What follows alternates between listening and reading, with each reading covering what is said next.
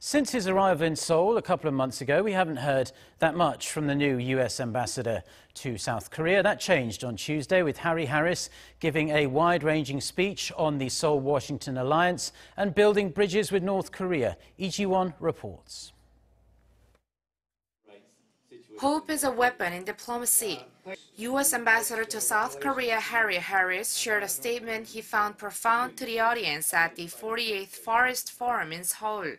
The former U.S. Pacific Command commander said on Tuesday that Seoul and Washington are in the very early days of their experiment in the denuclearization of North Korea, and while it may or may not turn out well, it's okay to be hopeful and optimistic.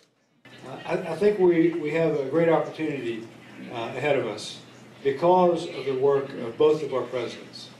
Uh, we are in an unimaginable place. Uh, I could not imagine uh, what I saw in Singapore or what I saw in Panmunjom uh, even a year ago uh, when I was the Pacific Command commander. That to me was unimaginable. And yet here we are today. Harris backed up his statements by saying how much confidence President Trump has that North Korean leader Kim Jong-un will keep his promise to dismantle the regime's nuclear program as sealed by their handshake at the June 12 summit in Singapore.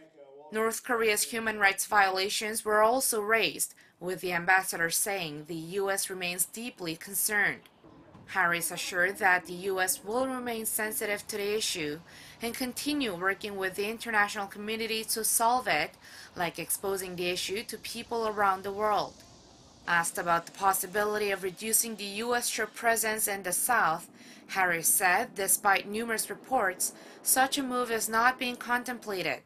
He went on to credit American troops in the South, the South Korean military, and their joint forces for having played a significant role in bringing the two allies back to the table with the North.